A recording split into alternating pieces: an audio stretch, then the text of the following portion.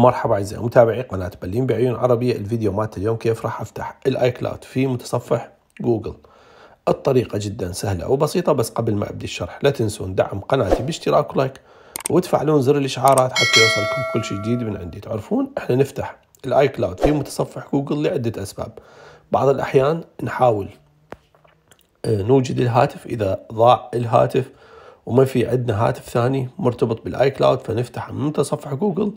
حتى إحنا نوجد الهاتف. أيضا في بعض الأحيان نحتاج إنه آه نشاهد الصور اللي إحنا مخزنيها داخل الذاكرة السحابية ال iCloud حتى آه نحاول نحذف أو آه نوجد أي صور إحنا نريدها. فإجاني الأمس هذا السؤال فحبيت أعمل هذا الفيديو للمتابعة. فخلينا نبدي من داخل المتصفح كيف راح نفتح ال iCloud هناك. حتى أدخل أفتح ال iCloud مالتي في متصفح جوجل راح أدخل على تطبيق جوجل وأترك هذا الرابط اللي راح أتركه بصندوق الوصف أدخله بالأعلى بالبحث راح ياخذني لهاي الصفحة. راح يقول للمتابع راح يقول لي متابعة بهذا ال iCloud فأنا اكتب له نعم تقدر تدخل أنت ال iCloud اللي أنت تريده. أي iCloud الآن لازم أدخل كلمة السر مالتي فأنا راح أدخل كلمة السر.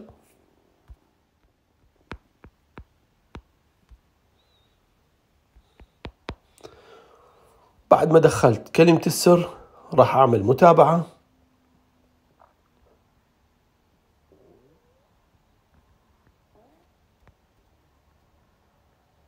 راح يظهر عندي الحساب نفسه مالتي اللي موجود على الهاتف. من ضمنها اللي رادوا الصور اللي مخزنة.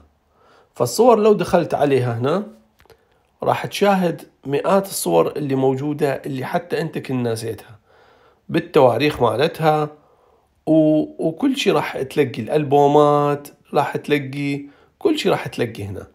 فاللي هذه فقط اللي مخزنة في ال iCloud أوكي؟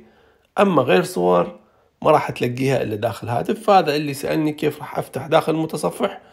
أيضا فائدة هذا التطبيق إنه لو آه، آه، فتحت لو ضاع الهاتف تقدر تدخل منه وبعد ما تدخل راح تظهر عندك الهواتف اللي مسجلة بهاي هذا ال iCloud واللي راح تكون موجودة بالمكانات مالتها. فمثل ما تشاهدون هنا راح ينطيك مواقع الهواتف مالتك فإذا انسرق أي شيء تقدر تدخل عليه وتبلغ وأنا شارح عليها أيضا. وأيضا ينطيك التذكيرات ينطيك iCloud Drive والملاحظات. هذا اللي حبيت أشرح لكم إياه وهذا كلش مهم إنه تفعلون هذا الخيار. إذا لا سامح الله انسرق عندكم هاتف. تقدرون تتبعون آه، تقدرون تشاهدون وين صار الهاتف مالتكم بطريقة جدا سهلة وبسيطة. نهاية الفيديو أتمنى استفاديتوا. لا تنسون دعم قناتي باشتراك ولايك وتفعلون زر الإشعارات حتى يوصلكم كل شيء جديد من عندي. مع تحياتي من برلين عاصمة ألمانيا. مع السلامة. أي سؤال أو استفسار كتبوها بالرسائل أنا حاضر. وشكرا لكم. مع السلامة واعذروني ترى أنا مصاب كورونا وصوتي شوية كلش متغير مع السلامة.